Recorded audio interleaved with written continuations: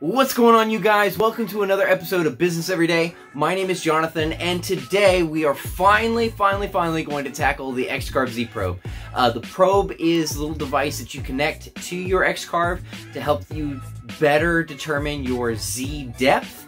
And I was having a little bit of trouble when I first assembled my X-Carve to get that to actually install properly. But today, we are going to tackle this and hopefully get everything figured out. So let's see what we can do.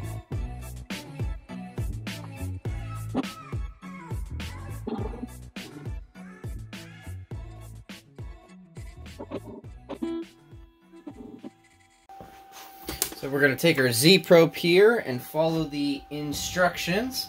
And the first thing it says to do is plug in the lead into our port. Boom. Done. says that we have the lead connected. We're going to clip the clip onto the collet. Clip is on the collet. Okay.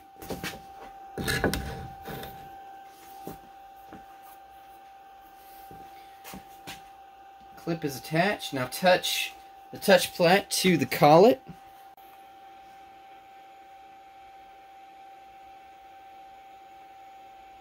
And this is where we're having problems. So the pad is not showing contact to the Z probe.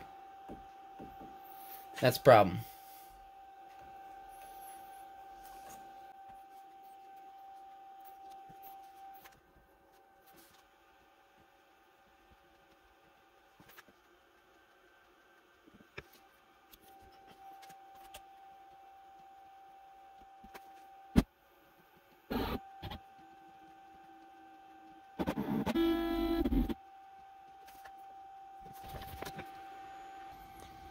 What I have found out here is that when you're plugging in your lead, it will go in and then it will kind of sit there halfway. And then you've really got to push it all the way into the black sleeve in order for it truly to make contact.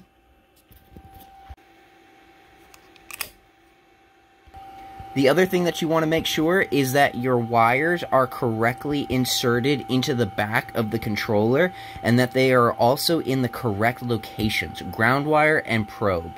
Black is ground, red is probe.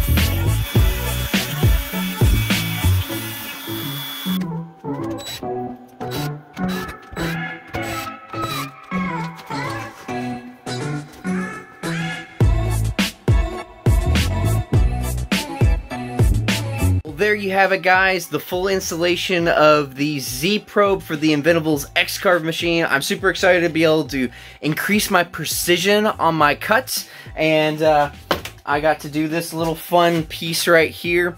Uh, it is a communicator replica of the uh, Expanse TV series, um, and I, I, just had some fun. I, lo I love watching that TV show, and so I decided to make something pretty precise, and the Z Probe was right there ready to do its job.